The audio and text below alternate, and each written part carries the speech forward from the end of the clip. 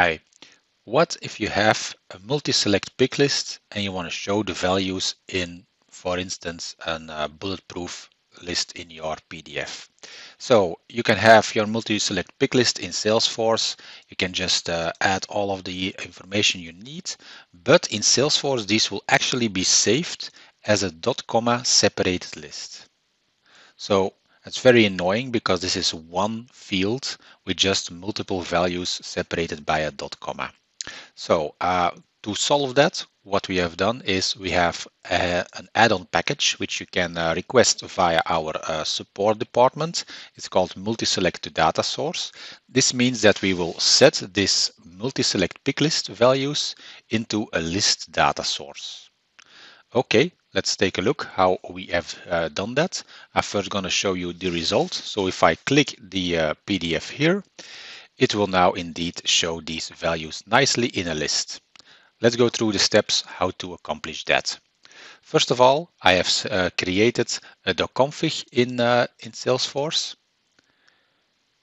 And in this docconfig, uh, there is of course the data sources that I need. And I have two data sources, one data source to select my account data. And as you can uh, guess, this data source will of course select the value from my uh, multi-select pick list. So it has the my hobbies multi-select pick list right here.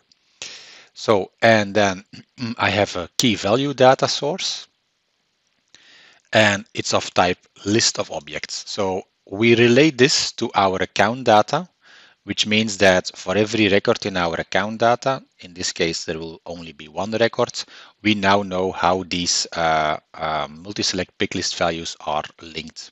So we uh, look very carefully for this grouping name um, field because this is hard coded. So you have to make sure you always put parent ID in here.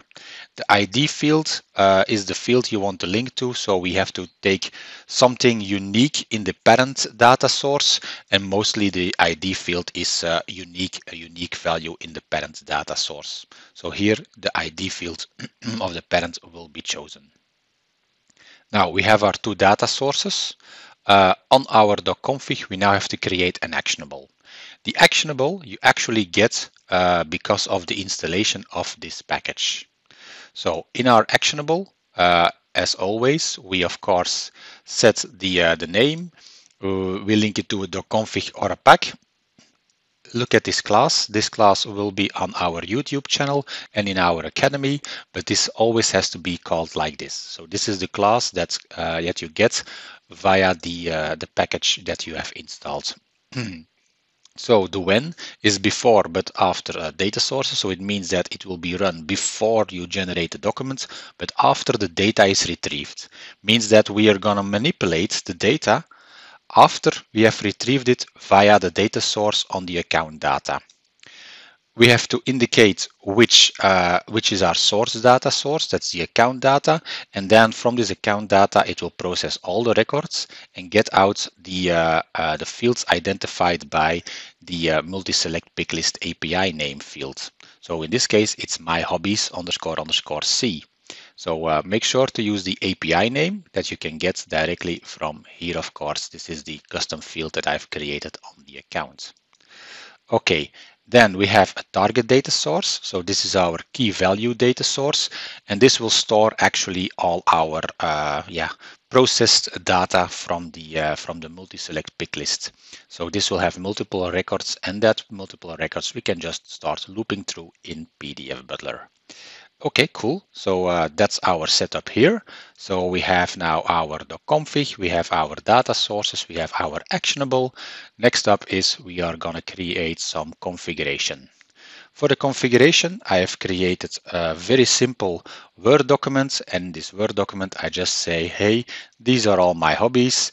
And I have a list, a bullet, as you can see, a bullet point list or, an, uh, or a dash list. Hey, it's a, a list here uh, in uh, Microsoft Word and this is the one I want to repeat. If you want to repeat rows or just other things in paragraphs, not a problem.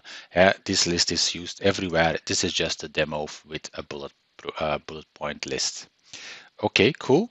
So uh, next up is I have my configuration screen. I of course add my account data. Then I add my account hobbies. That's our uh, key value data source.